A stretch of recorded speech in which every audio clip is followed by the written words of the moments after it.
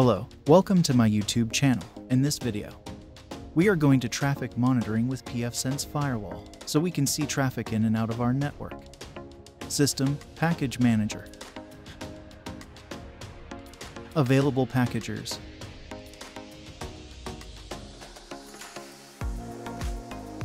and type ntop and search.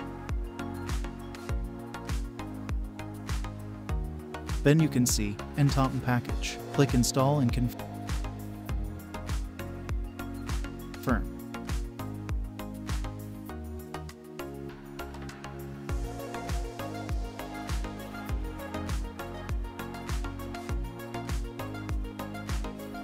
After see this installation successfully completed message you can go to, go to diagnostics, ntop settings. Tick enable Ntop, type new password and confirm the password.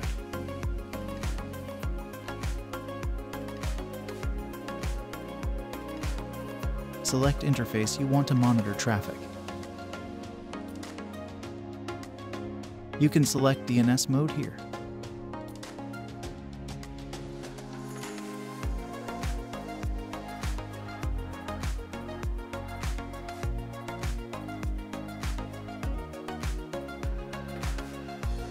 Click Save button. After save the settings go to go to Diagnostics. Click Ntop.